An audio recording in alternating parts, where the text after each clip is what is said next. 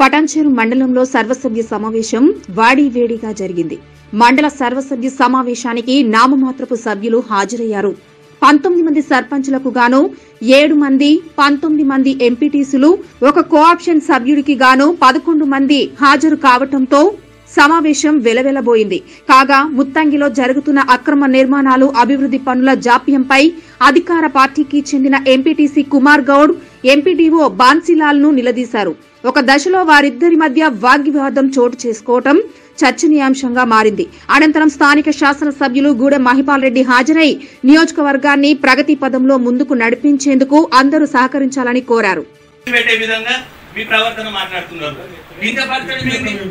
Sir sir? ఒకవేళ అధికారుల పైన అదే విధంగా మేము వెళ్ళాలంటే చాలా మార్గాలు ఉంటాయి. మాకేం అవసరం అండి? మీతోటి మాకేం అవసరం అండి? ఈరోజు మీరు ఉంటారు రేపు మీరు వెళ్తారు. మా గ్రామంలో మేము ఉండాలి.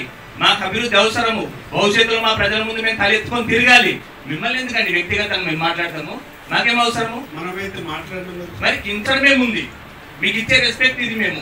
మీరు ఇచ్చే రెస్పెక్ట్ అదా. అని మాకు తెలియదా? సరే ఓకే ఏదైనా ఉంటే మీ దగ్గర ఏముంది అవి ఇచ్చేస్తే నేను ఇచ్చేస్తాను. అది క్లోజ్ ఇవ్వాలి? క్లోజ్ అయిపోతుంది. పంచాయతీ మీరు వ్యవస్థ మీరు గ్రామ పంచాయతీ మీరు రికార్డు మీరు. గ్రామ పంచాయతీ పరిధిలో ఉన్న మీరు ఆ లేఅవుట్లు అయితే మీ దగ్గర ఉంటాయి కదా? ఉంటాయి. మీరు ఆ లేఅవుట్లు అయితే ప్రొడ్యూస్ చేయాలి కదా ఫస్ట్ లేని సంగతి మనం ఆలోచిద్దాం.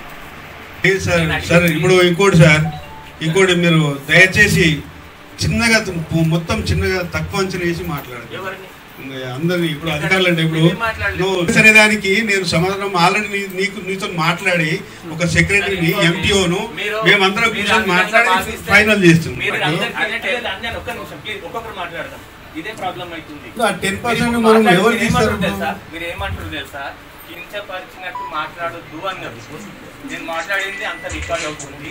మీరు అందరికి అంటే అది ఇంతకుముందు సుప్రజ చెప్పినట్టు మూడు నెలలకు ఒకసారి కాకుండా మీకు ఎప్పుడు అత్యవసరం అనుకున్నా అధికారులతోటి ఈ మండలానికి వచ్చి మండల ప్రెసిడెంట్ని కానీ ఎంపీడీఓని కానీ ఎంఆర్ఓని కానీ వచ్చి ఈ స- సభ సర్వసభ సమావేశంలో కూర్చొని వాళ్ళకు ఇన్ఫర్మేషన్ ఇస్తే వచ్చి ఆ సమస్యను పరిష్కరించడానికి ఈజీ ఆస్కారం ఉంటుంది.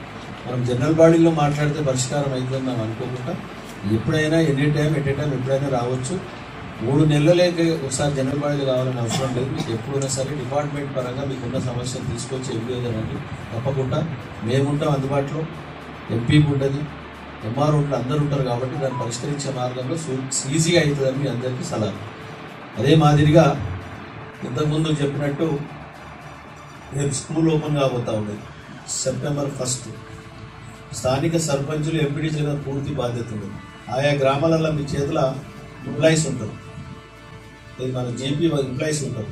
వాళ్ళతో కొద్దిగా క్లీనింగ్ గడిపించుకోవడము బ్లీచింగ్ ఫినాయిల్ చేసుకొని వాళ్ళకు కొద్దిగా నీట్గా మన ప్రేమ మన కంపౌండ్ వాళ్ళ లోపల మనం పిచ్చి చెట్లు ఉన్నదని గడ్డి ఉన్నదని సాఫ్ చేస్తే ఎందుకంటే వన్ అండ్ హాఫ్ ఇయర్స్ నుంచి పాడబడి వేసుకుంది సార్ ఎక్కడ ఎక్కడ స్టక్ అయి ఉంది. లేవు.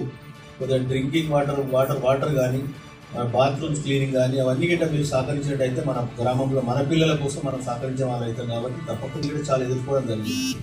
ఇప్పుడున్న పరిస్థితుల్లో తప్పకుండా గ్రామాలలో ఉన్న సమస్యలు పార్టీలకు అతీతంగా ప్రజల అవసరాల మేరకు ఏమేమి అవసరాలు లేవు అధికారులు అధికారుల దృష్టి తీసుకురండి మా దృష్టి తీసుకురండి తప్పకుండా ఎప్పటికప్పుడు సమస్యలను పరిష్కరించుకుంటూ డ్రింకింగ్ వాటర్ విషయం కానీ కరెంటు విషయమే కానీ రోడ్ల విషయం కానీ డ్రైన్స్ విషయం కానీ తప్పకుండా ఎక్కడ విస్మరించకుండా దాన్ని పరిష్కరించే మార్గంలో మనం ముందుకెళ్దామని మీ అందరికి తెలియజేస్తా ఉన్నా. ముఖ్యమైన పాయింట్ నేను ఎంఆర్ఓ చెప్తా ఉన్నా రేపు సాయంత్రం వరకు లిస్ట్ కావాలి.